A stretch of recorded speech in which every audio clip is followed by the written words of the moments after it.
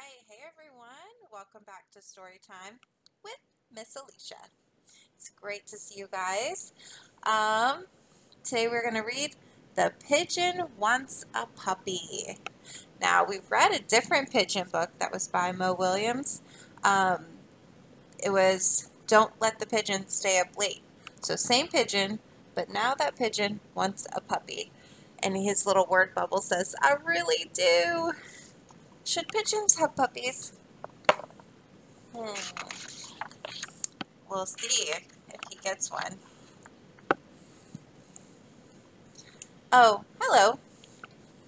How are you? I'm fine. Thanks for asking.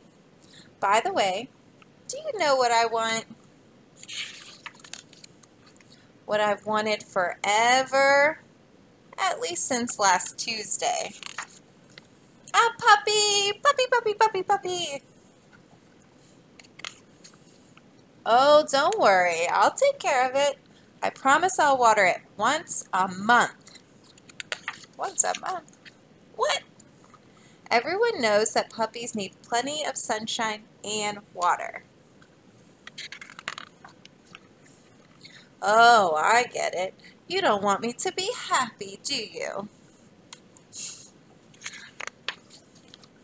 You don't want me to take a piggyback ride on my puppy or play tennis with it? Are you supposed to ride your puppy? Mm -mm. You just don't understand. I'm a puppy-loving pigeon.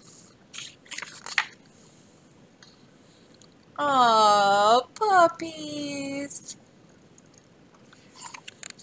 I want a puppy right here, right now. Is that how we get our way? Woof. What's that? Woof, woof. Is it possible? Have my dreams come true? Woof. Ah!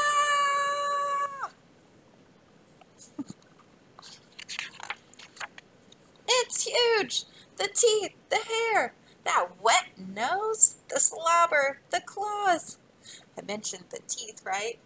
Really, I had no idea. I've changed my mind.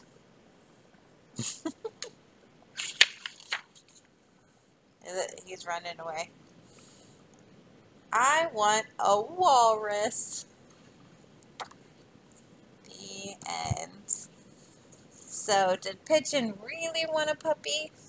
No. Sometimes we think we want things, but turns out we don't really. Alright, I hope you guys liked The Pigeon Wants a Puppy, and I'll see you next time for story time. See you later.